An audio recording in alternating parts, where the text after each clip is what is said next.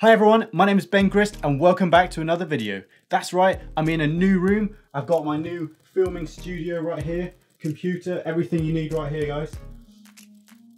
But also, I've got a new job as well, which I'm starting in a few weeks, and it's gonna be great. September, this is a chance for uh, new beginnings, new transitions. But what I want to say to you guys is that God is on your case. Doesn't matter what you're going through, what changes you're going to go through, what transitions you're going to come across in this next season of your life. Actually, God is on your case. He is going to be there with you.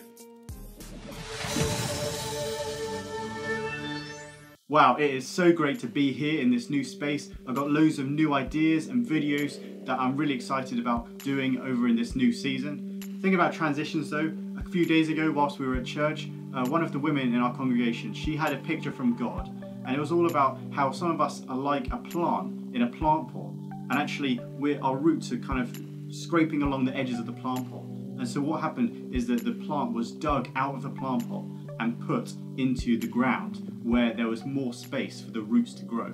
And it reminds me of this chapter in Isaiah chapter 54 where it says this in verse 2 and 3. Enlarge the place of your tent, stretch your curtains wide, do not hold back. Lengthen your cords, strengthen your stakes, for you will spread out to the right and to the left. Your descendants will dispossess nations and settle in their desolate cities. In 1792, a guy called William Carey was preaching about this verse, and it occurred to him that actually this word enlargement actually encourages us to think big, dream big, and have a bigger perspective on the plans for the future. When a black dot is put on a white screen, somehow that one black dot becomes the central focus of the whole picture and not the white screen at all. And in the same way, we need to put God as our focus, make Him bigger, not our smaller issues bigger. God is bigger than all of our uh, kind of problems that we're dealing with, whether health or financial problems or opposition or crisis or Brexit or whatever is going on. God is bigger than those things. So, what are we putting our hope in? Well, the next part of the verse uses the word stretching, which involves stretching our current limits. A bit like when Paul talks about how he presses on towards the goal marked out for him. And in the same way, if we're stretching, a bit like us stretching our muscles, actually it's going to allow us to grow. Next up in the passage, it says about do not hold back. And this is so important, especially in this time of transition or change, whatever you're going through.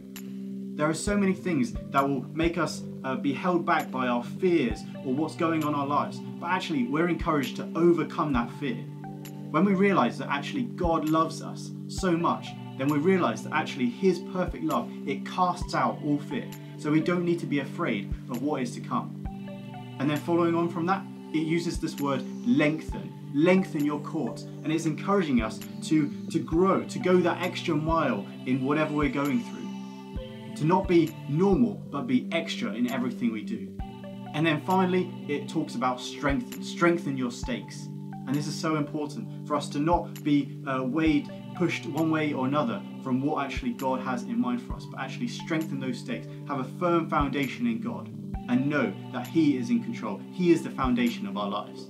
So, whatever you find yourself going through in the next few weeks and months, remember this famous verse and one of my favorites from Jeremiah chapter 29, verses 11, 12, and 13, which says this For I know the plans I have for you, declares the Lord plans to prosper you and not to harm you, plans to give you a hope and a future.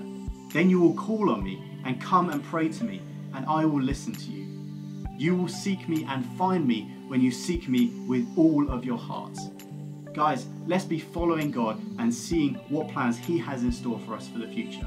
That's all from me today. I hope you have a great week and I'll see you soon. Bye bye.